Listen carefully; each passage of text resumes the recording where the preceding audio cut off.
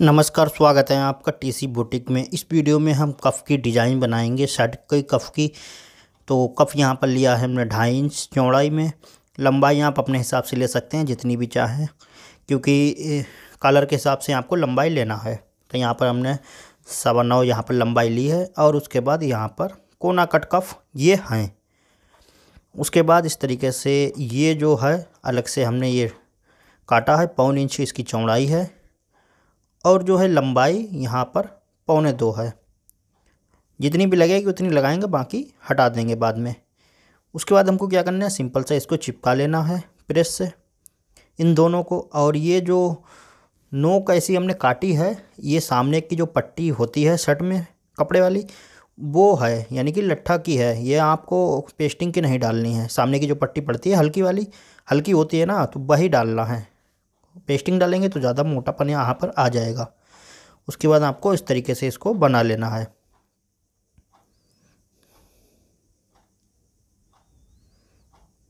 अब इसको छांट के पलट लेना है सिंपल सा।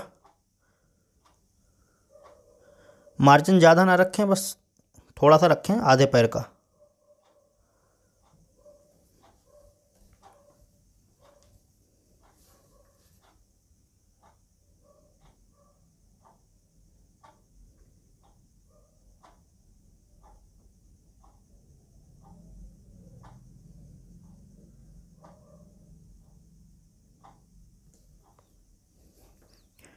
उसके बाद किसी नुकीली चीज़ से इसके नोक निकाल लेना है।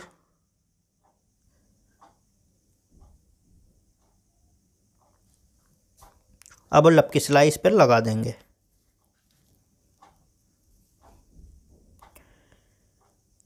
तो ये हमारी ये कंप्लीट हो गई। दूसरी चीज़, अब हमको इस यहाँ पर हमने कंट्रास्ट कपड़ा लिया है पैपिंग के लिए। तो इस तरीके से हमको इसको कंट्रास्ट कपड़े को नीचे रखना है और जितनी भी चौड़ी आपको पैपिंग निकालना हो तो यहाँ पर हम दो सूत की निकाल रहे हैं। तो यहाँ पर हमने पेस्टिंग के ऊपर सिलाई लगाई है दो सूत की। बाकी का जो मार्जिन है, उसको हमको जड़ तक छांट देना है पेस्टिंग के। क्योंकि हमने सिलाई तो लगा दी है तो इसलिए अब जड़ तक छांट देना है।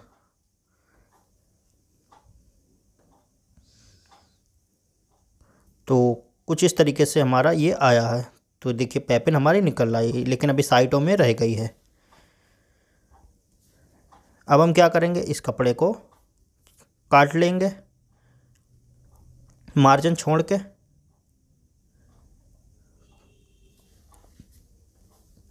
उसके बाद हम क्रास में इसको, पैपिन को निकालेंगे। तो वहीं हमको दो सूत की यहाँ पर क्रास में भी सिलाई लगानी है, कपड़ा को नीचे रख के।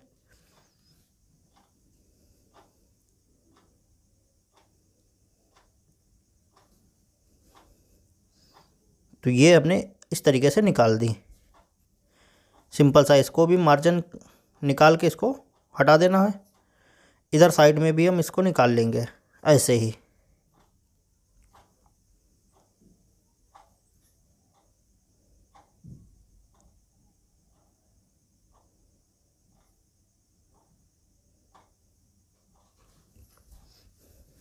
तो ये हमारा काम हो गया। अब हमको क्या करना है? इसमें नाखून वगैरह लगा के अच्छे से साफ़ कर लें, चाहे तो प्रेस लगा लें। उसके बाद हमको यहाँ पर सिलाई लगा देना है, जो कि हम कफ बनाते समय लगाते हैं पैर की। बाकी का जो फालतू का मार्जिन है, उसको छांट देना है। और ये हमारी पैपिन वगैरह कंप्लीट हो गई। अब यहाँ से हम नापते हैं, देखिए आठ इंच है तो इसका बीस सेंटर हमको बनाना है, क्योंकि वो हम, इसकी जो नोक टाइप के जहाँ पर बटन लगेगा, वो हम लगाएँगे। तो ये सेंटर बन गया। इसको इस तरीके से हमको रखना है। ऐसे रखने के बाद आपको जितना बड़ा आपको इसको रखना है ताबीज़ को उतना रख सकते हैं। तो यहाँ पर हम पौन इंच का रख रहे हैं। उसके बाद सिलाई लगा देना है, ऐसे इसको रोकने के लिए जब तक। अब हम क्या करेंगे, नीचे हमको कपड़ा रखना है। मैन और अपना कफ जो है जैसे बनाते हैं वैसे ही बना देना है।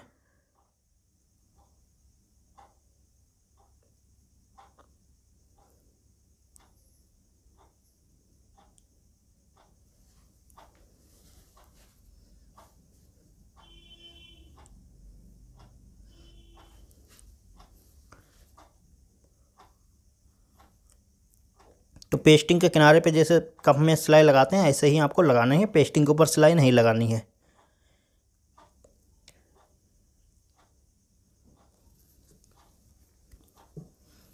अब ये सिलाई लग गई अब हम आपको छांट देना है। मार्जिन जितना भी आधे पैर का सिर्फ़ रखेंगे।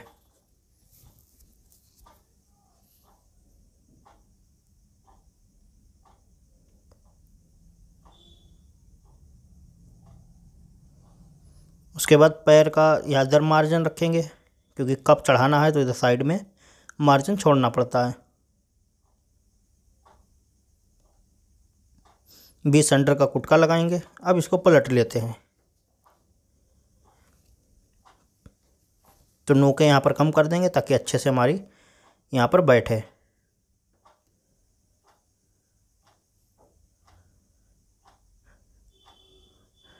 अब देखिए कितनी फिनिशिंग के साथ ये हमारा कप कंप्लीट हुआ। अभी इसमें सिलाई लगा देते हैं।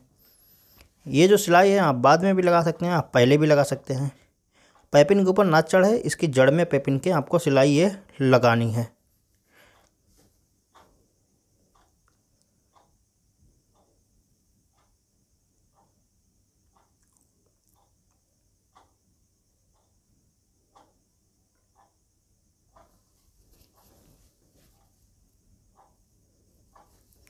अब ये डिज़ाइन आप कॉलर में भी डाल सकते हैं। जो कॉलर होता है ना, कफ में डालिए तो कॉलर में भी डाल सकते हैं। उसके बाद आप क्या करें, यहाँ पर हम बटन टाकेंगे, जो कि अच्छे वाले आपको बटन शर्ट में लगाना है। तो उन्हीं में से एक जो है, बटन यहाँ पर भी टांग देना है। ताकि जब कप पहने तो सामने एक फ़ैशन सी डिज़ाइन आए। अगर कोट वगैरह पहन रहे हैं और नीचे आपका यहाँ पर कप दिख रहा है, क्योंकि थोड़ा सा कप दिखता है ना, कप कोट जब पहनते हैं तो उसमें एक लुक आएगा, डिज़ाइन अच्छी सी देखने को लगेगी। तो इस तरीके से देखिए कितनी फिनिशिंग के साथ हमारा कप डिज़ाइनदार बन बनकर रेडी हो गया। तो ये वीडियो अच्छा लगा हो, ऐसे ही वीडियो पाने के लिए चैनल को ज़रूर सब्सक्राइब कर लें, साथ ही बेल आइकन को ज़रूर प्रेस कर लें। अब आपको ऐसे चढ़ा देना है आस्तीन को।